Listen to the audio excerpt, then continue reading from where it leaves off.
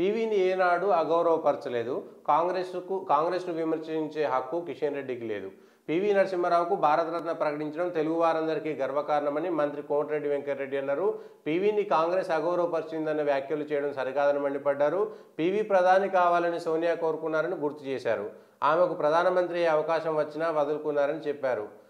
శుక్రవారం assembly media point వద్ద కోమటిరెడ్డి వెంకటరెడ్డి. అయితే ఆలోచించాలి. సోనియా గాంధీ ప్రధానమంత్రి కాకపోవడానికి ప్రధాన కారణం ఏమిటి అనేటువంటిది ఆలోచించాలి. తొంభై ఒకటిలో సోనియా గాంధీకి ప్రధానమంత్రి అయ్యేటువంటి అవకాశం లేదు. అప్పుడు ఉన్నటువంటి పరిస్థితుల్లో ఆమె రాజకీయాలు చేసేటువంటి పరిస్థితి లేదు. ప్రధానమంత్రి అనేటువంటిది అప్పటికప్పుడు ఏమి చేయలేని సిచ్యువేషన్లో నిశ్చయ స్థితిలోనే ప్రధానమంత్రి పివి నరసింహారావుకి ఇచ్చారనేటువంటిది అందరికీ తెలిసిన విషయం. ఇవ్వాల్సినటువంటి పరిస్థితి వచ్చింది అప్పుడు. పివి నరసింహారావు తప్ప ఇంకెవరు అక్కడ నడపలేనటువంటి సిచ్యువేషన్ ఉంది కాబట్టి పివి నరసింహారావుకి ఇచ్చారు. ఏదో పివి నరసింహారావు మీద ప్రేమ కాదు. ఇక రెండు వేల నాలుగులో కూడా సోనియా గాంధీ త్యాగం చేసిందా? లేదంటే ఇటలీకి అదేవిధంగా భారతదేశానికి ఉప్ప ఉన్న ఒప్పందం ప్రకారం ఇటలీకి సంబంధించినటువంటి సంతతి భారతదేశంలో ద్వైపాక్షిక ఒప్పందాల ప్రకారం ఇటలీకి సంబంధించినటువంటి వాళ్ళు భారతదేశంలో ప్రధానమంత్రులు కాలేరు అనేటువంటిది రాజ్యాంగంలో ఉన్నటువంటి అంశం ద్వైపాక్షిక ఒప్పందాల అంశంలో సుబ్రహ్మణ్య స్వామి వేసినటువంటి కేసు సందర్భంగా అప్పుడున్నటువంటి అబ్దుల్ కలాము ఆ న్యాయమై న్యాయపరమైనటువంటి అంశాలు తీసుకొని అప్పుడు చేసినటువంటిదా కాదా? అంటే ఈ అంశాలన్నీ కూడా పివి నరసింహారావుకి ఇప్పుడు భారతరత్న ఇవ్వడంతో ప్రజల్లో చర్చకు వస్తాయి. రోజు ఒక కథనం వస్తుంది. సెర్చ్ చేస్తుంటారు. ప్రజలు కూడా అసలు ఏం జరిగింది? పివి నరసింహారావు తొంభై ఒకటిలో ప్రధానమంత్రి ఎందుకు అయ్యాడు? రెండు వేల నాలుగులో సోనియా గాంధీ ఎందుకు గాలేకపోయింది? కాంగ్రెస్ పార్టీ ఎందుకు అవమానించింది అనేటువంటి విషయం పివి నరసింహారావు మీద చెప్పులేసినటువంటిది ఏ పార్టీ?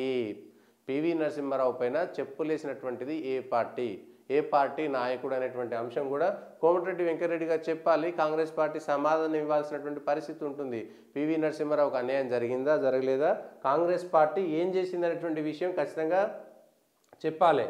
కాంగ్రెస్ నా పార్టీ నాయకురాలు సోనియాను విమర్శించడం సిగ్గుచేటు అనేటువంటి అంశం.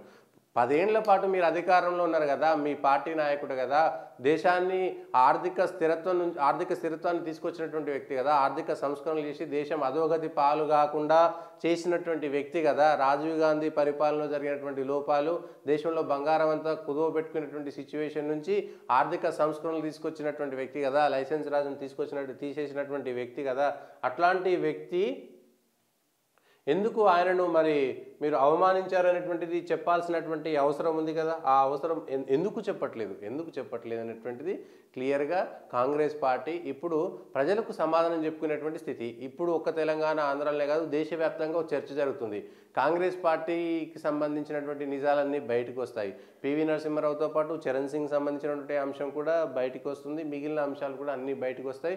ఒక్కసారిగా ఈ ఎన్నికల ముందు ఓహో కాంగ్రెస్ పార్టీ ఆ సొంత పార్టీలో ఉన్నటువంటి నాయకులకే చేసినటువంటి అన్యాయం ఇదా పివి నరసింహారావుకు చేసినటువంటి అన్యాయం ఇదా ఆఖరికి ఆయన అంతిమ సంస్కారాలు కూడా చేయక ఒక మాజీ ప్రధానికి ఇవ్వాల్సినటువంటి గౌరవం ఇవ్వకుండా అన్యాయంగా హైదరాబాద్కు ఆయనను పంపించి ఇక్కడ అంతిమ సంస్కారాలు చేయాల్సినటువంటి దుస్థితి వచ్చిందనేటువంటి విషయం ప్రజల్లోకి మాత్రం వెళ్తుంది. ఆ చర్చ జరిగినప్పుడు కాంగ్రెస్ పార్టీ దోషిగా ప్రజల ముందు నిలబడేటువంటి అవకాశం ఉంది కాబట్టి ఇప్పుడు ఈ ఎన్నికల ముందు ఇంకా దారుణంగా తెలంగాణలో ఆ చర్చ ఎన్నికల దాకా స- జరుగుతూనే ఉంటుంది అనేటువంటిది చాలా స్పష్టంగా తెలుస్తుంది. ఎవరు దాన్ని ఏం చేస్తారనేటువంటిది పివి నరసింహారావుకు సంబంధించినటువంటి అంశం మాత్రం ఎన్నికల్లో చాలా స్పష్టంగా వస్తుంది.